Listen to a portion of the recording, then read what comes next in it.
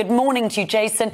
Uh, you've written about this subject in the past, uh, but is this potential move taking away people's freedom of choice, do we think?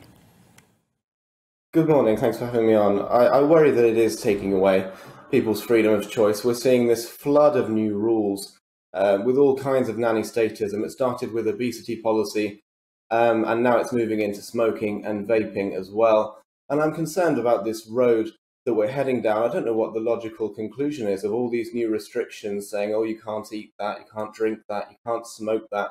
We're going to end up in some kind of miserable dystopia where we all have to eat grey sludge. I think there comes a point where we have to just allow people to take risks with their own lives and with their own health, because otherwise we have to give up our freedom to, to keep everyone completely healthy. Well, the logical conclusion is the logical conclusion is people will be healthier and live longer. That, that's the point, isn't it? Yeah, of course, but uh, there's a balance to be found, isn't there? We can do all kinds of things. We could outlaw cars and we'd eliminate deaths from car crashes, but we don't do that because we want people to be able to live their lives in a convenient, in a free way. And when it comes to vaping, I think that this kind of move to ban sales of vaping of, of vapes to uh, under 21s would be actively bad actually for public health outcomes because so many people use vaping as a tool to quit smoking. And we know we know that vaping is so much healthier than smoking. We know, for example, that it has 0.5% of the lifetime cancer risk that smoking does. And va- vaping is the most effective tool that we have ever discovered for helping people quit smoking. It works in 74% of cases, so it's much more effective than nicotine patches, for example, or any other method for quitting cigarettes. Um, and so, if the government is trying to make the country smoke free, it seems absurd that they should be cracking down on vaping. Mm. It's become very trendy, though. I mean, I, I see, I don't know if many other people see it too. Uh, people, you know, as young as, well, I mean, uh, young youngsters, let's say, thinking that vaping is okay. I mean, it's still the jury is out on vaping. I know you, I know you've just stated some some figures there, but actually, it, it's it's still not the way we should be going, um, or, or, really what our youngsters should be doing. I mean, I'm a mum of two, you know, one teenage boy, and, and I know he talks about a lot of his friends doing it already. That really concerns me, Jason. And that's entirely fair enough. But when you look at it in the in the grand scheme of things, and you look at the effect that smoking has, and of course we know how harmful smoking is, um, the benefit of vaping is a wholly positive one because it allows so many people to quit. I know people personally have been able to uh, quit smoking as a result of taking up vaping.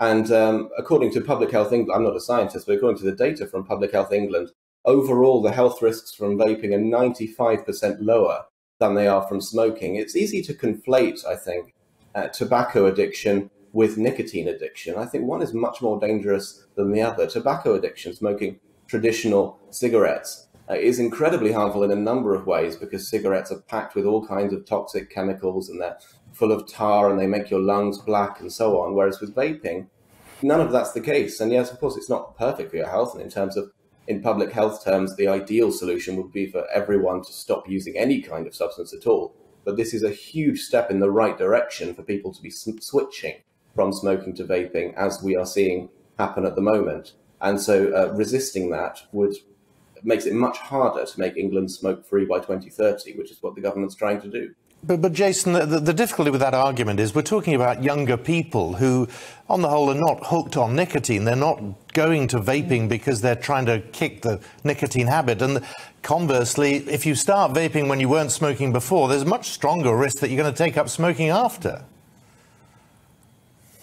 Well, my concern with uh, with younger people in particular is that bans of this kind, both for cigarettes and for e-cigarettes, don't actually work. If you look, for example, at uh, 11 to 15 year old children, who of course it's it's illegal, it's not possible for 11 to 15 year old children to buy cigarettes at the moment anyway. So this kind of sales ban is already in place. But an NHS study found that 16% of 11 to 15 year olds have actually smoked anyway.